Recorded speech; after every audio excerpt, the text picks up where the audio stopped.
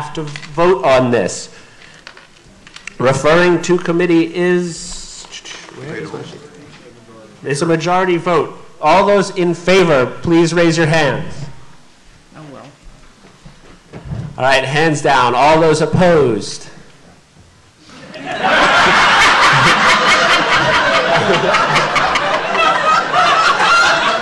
Just, I'm just gonna, more, than just me. it's more than just the members of the committee. I will note that. The motion to refer passes. The committee will work at some point, we will make an announcement before the close of this meeting as to when that meeting will occur for those who wish to participate who are not members of the nitpicking and fly specking committee.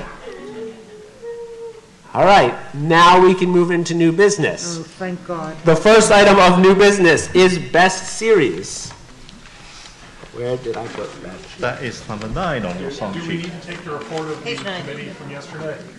Yeah, Uh, I believe we already took no. we The, referred the, to yes, the amendment. committee to, yes. So what we're going to start with is the report of the committee that was uh, sent off to come back with some solution to uh, re-eligibility uh, chaired by Mr. Harris. Mr. Harris, would you like to give your opening remarks? There is six minutes of debate on the um, motion that comes out of this committee. Thank you, Mr. Chairman. Um, so the group that was um, created yesterday of half a dozen or so people, uh, chaired by myself, met. Um, I think it was a useful discussion. Um, we first just reviewed where the overall um, motion on best series was. We didn't see any reason to reopen any of the very extensive discussions that the main committee had done over the year, so we just restricted ourselves to this question of the re-eligibility criteria. We then looked at um, a number of options just on merit. So one option is to allow everyone to be permanently re-eligible, so uh, either with or without. an- Uh, Can you speak more clearly? sorry, we could allow people who've made the shortlist to be re-eligible. So as long as they do enough further material, you can win it again, even if you've won it before. Or you can exclude the winners, um, but allow people who've been nominated but lost to gain another opportunity. Or you can exclude everyone who's been shortlisted, which some of you remember was Ms. Ack's um, proposal from the floor that led to the referral to committee. Um, the committee, after some discussion, was unanimous that excluding everyone who has been nominated would very rapidly reduce the pool of credible nominees because after three years you've got rid of 15 series. Um, we decided that the main committee had been right to exclude winners. This is an unusual Hugo because you're recognising bodies of work built up over many years. As such, it is in essence a Hall of Fame for Best Series. Once you're in the Hall of Fame, you don't really need to be in it again. And we also want a degree of churn to make sure that we have different winners. So we felt that basically the main committee's approach had been right and that winners should be perpetually excluded from further eligibility, regardless of any new work being added, and that losing nominees should become re-eligible subject to a further 240,000 words, two volumes. What we did do was identify that we thought perhaps the actual wording of the motion had been a little overworked, as sometimes happens when there's a lot of people on the committee. We felt that it could be streamlined in a way that would be easier to understand for voters filling in their ballots. And therefore, we propose an amendment by substitution, which is up here, which basically has exactly the same substance as the original motion, but is hopefully a little easier to understand. Yes. You- I, I will attempt, actually, can the parliamentarian read it? Essentially, what it does is divide the current text in front of you under 3.3.x into two clauses, 3.3.x and 3.3.y, dividing at if such a work has previously won, or been, sorry, been a finalist. Ms. Secor, The speaker yielded for a question. Yes. I'm waiting for you to finish. I know.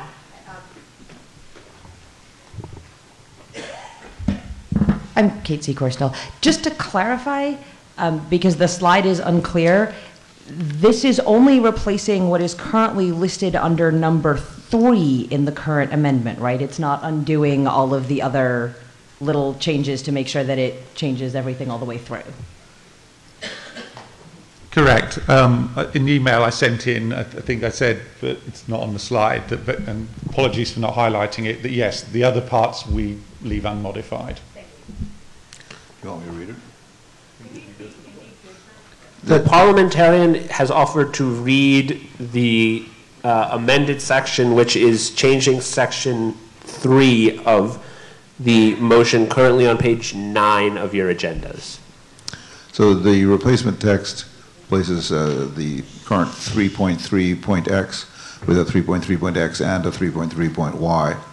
3.3.x, best series, a multi-volume science fiction or fantasy story unified by elements such as plot, characters, setting, and presentation, appearing in at least three volumes consisting in total of at least 240,000 words by the close of the previous calendar year, at least one volume of which was published in the previous calendar year, and which has not previously won under 3.3.x, referring to itself.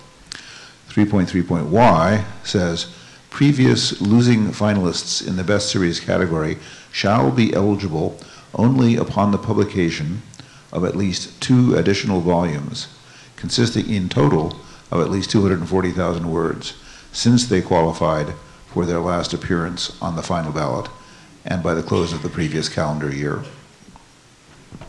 Are there any more questions for the committee? Yes. I would remind members that if you can stand, please stand. Don't just raise your hand or raise the card. Uh, Victor Rose, um, if an author has different, totally different series, and one is, one wins, would the other series be able to win?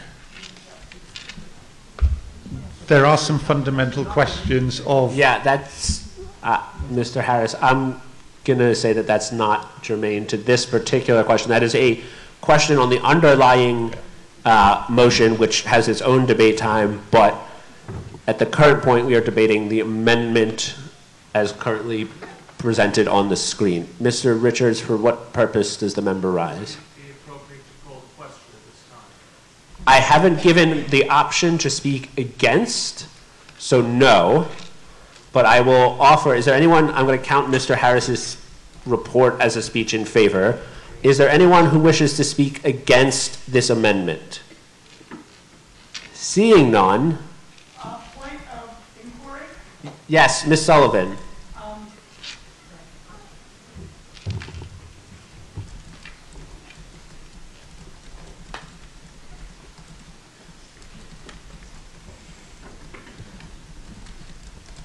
trying to understand the new language, um, the extended eligibility for new works, you know, the, the two new books and the 240,000 said something by the end of the previous year. It doesn't appear to also require that there be one of those books published in the previous year. Is that correct? I don't have, the- I'm going to let Mr. Harris respond. Yes, um, you, the main eligibility is on the first of the two clauses, which does require you to have a work in the previous calendar year. There is the additional requirement um, that if you've lost before as a finalist, you have to have 240,000 words, but we don't have to repeat that subclause. Thank you. All right. If I want to change a word, should i make a motion? i think this is tech, I- he moved it as an amendment by substitution, so I believe that that is in order, if you really want to change the word. I, I, I'm just thinking that the, my name's Linda Deneroff. I'm thinking that the motion would be a little bit clearer if the, in section 3.3.y, uh, on the third line, at least in my text, the word since should be changed to after, so that it says at least two additional volumes consisting in total of at least 240,000 words after they qualified for their last appearance, rather than since.